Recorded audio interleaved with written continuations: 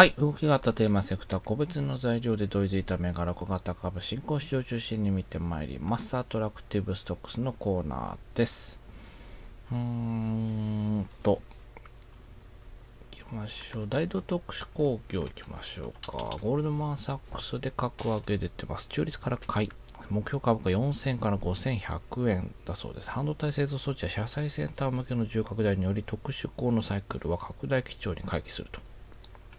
ステンレス鋼の需要回復、国営電極との価格下落によるコストメリットも寄与と、えーいうことだそうです。今期業績下方修正はもうすでに織りつ織り込まれつつあるとで。来期以降の増額修正を期待しているような、そんな動きだそうです。140円なんか4470円、3.23%の上昇でした。うーん。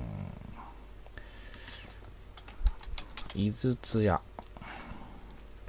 29円高262円12.45%上昇。上期の決算発表ありました。営業利益5億5000万円で、前年度比81%の大幅増ということで、従来数4億円でしたんで、大幅に上回りました。純損益1億5000万円の赤字見通しでしたが、えーこちらも3億3000万円の黒字で着地ということで、えー大幅上振れ着地に、えーポジティブサプライズとなったということであります。続いてスーパー泉。205円安4410円4.75%下落でした。上期の決算発表ありました。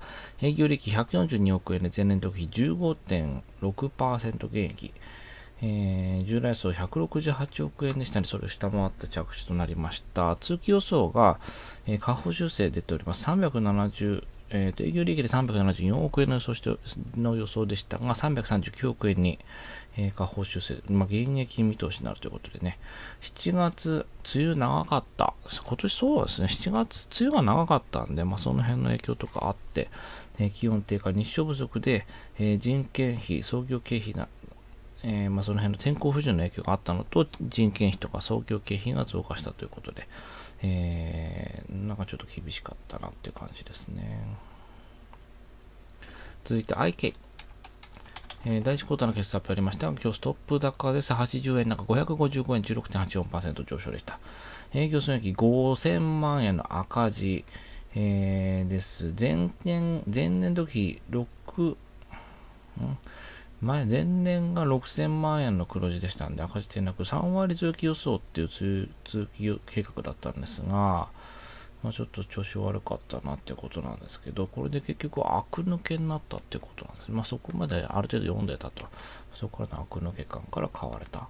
だそうです。はい、続いて、ライフコーポレーション。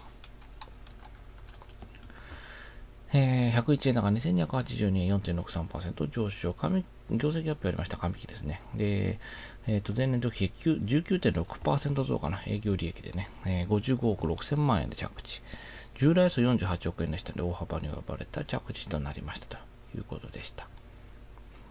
続いて、日立カピタル。えー21年度最終年度とする中期計画策定発表しました。36円高2253円1.62%上昇です。あとは、素敵な S グループ、今日もストップ高ですかね。150円高1021円17.2%上昇でした。急に動き出すから、この人たちは。ね。まあ、いろいろ問題があった中、落ち着いたということですかね。あとは、結構ショートカバーの動きみたいなのが出てきてて、まあ、レオパーとかもそうですけど、立てるとかね、5円高196円2.62%上昇、レオパー。えー、14円高290円5%上昇とかね、はい、出てます。あとは、太陽日産。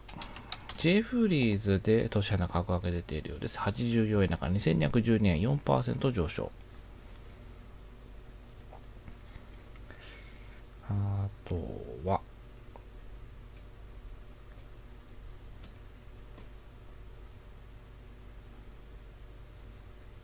うん、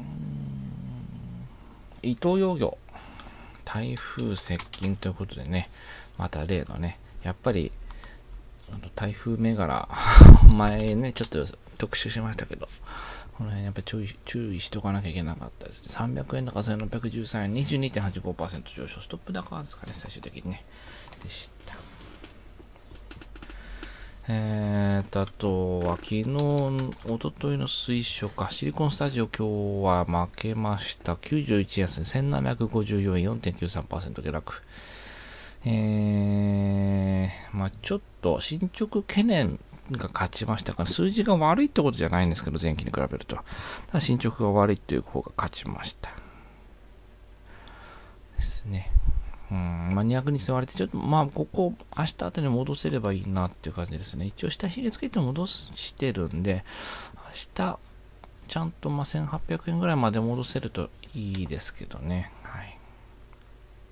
というところでした？えーと、復興関連銘柄先回りが入ってます。伊藤洋もそうでした。クリエイト。150円高870円20.83%上昇。感じかな。アンビスちょっと見ておきましょうか。えっ、ー、と、ジャスダックに上場しました。初値が公開価格52.1%上回る4260円でスタートして、今日終わりに4170円となりました。というところですかね。はい。ということで、えー、以上、アトラクティブストックスのコーナーでした。